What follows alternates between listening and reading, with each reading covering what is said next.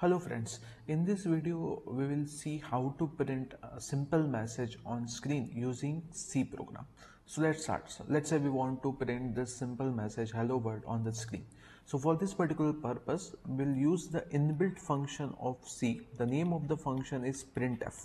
Okay, and since the C is C, uh, case sensitive language, we need to write down printf like this, not like this. Okay, if you write like this then you will get an error message. So after writing down the name of the function we need to pass the argument. Here argument is nothing but the string which we want to print. So we'll write down the string in this round bracket okay in double quotes. So the string is hello world okay and then uh, we'll complete this particular round bracket and then we will put semicolon to denote that this particular statement is completed and in order to distinguish between what is supposed to be print right this part and the name of the function right we put this round brackets okay? So that the compiler can distinguish between uh, function name and arguments okay?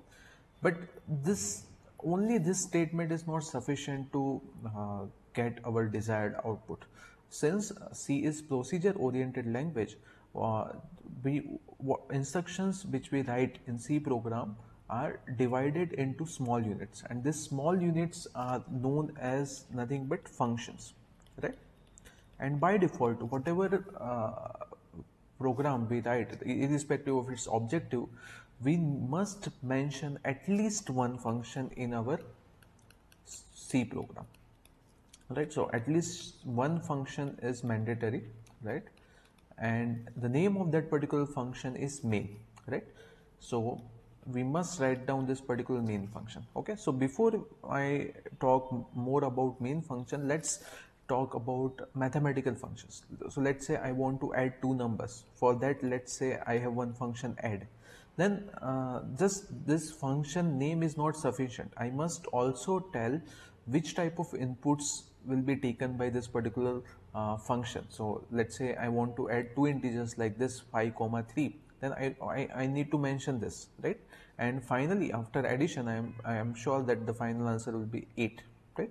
So similarly here whenever I am defining any function I must also mention about arguments whether I am passing any data to this particular function or not. So for with respect to main function we are not going to pass any data so we won't write anything inside this particular round brackets. Okay?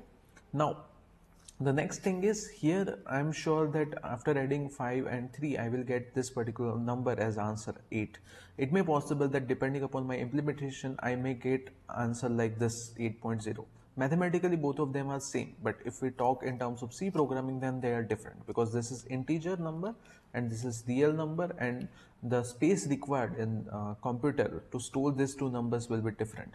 So in other words we, we should be sure whenever we are defining any function uh, which type of values will we will get at the end of execution of that particular function. That is nothing but return type of the function right this return type is important because because this particular because of this particular reason right? No memory right?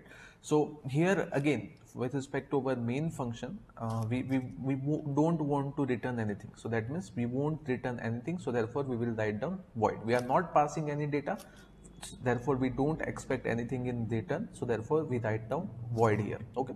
Now we'll put this opening bracket and closing bracket and we'll write down our purpose or our uh, instruction which we have just mentioned here right? Printf in double quotation hello world right?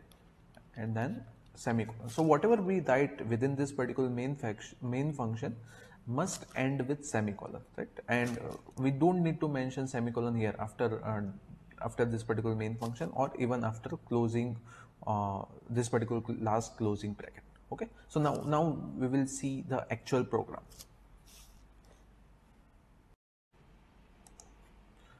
So I will I will return the same program here as you can see right? Void main printf hello world semicolon is there.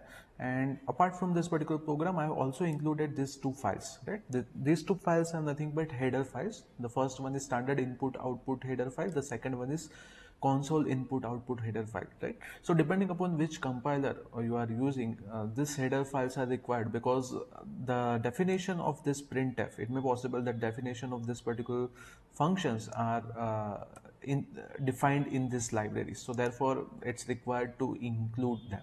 Okay? Fine. So now the program is ready. So uh, then very first step we will do is to save it right? So save this particular program and then what we can do first we will uh, compile it and then we'll run it right? So as you can see the message is here on the screen hello world. Now what we can do we can uh, let's say i want to print hello on on the very first line and i want to print the second word on the second line word so for that the command is slash n. So using slash n slash n stands for new line. So let's see what will happen if we do like this. So as you can see now hello is on the first line and the word is on the second line one more uh, thing which you can do is instead of slash n you can write down slash t. So slash t stands for tab right?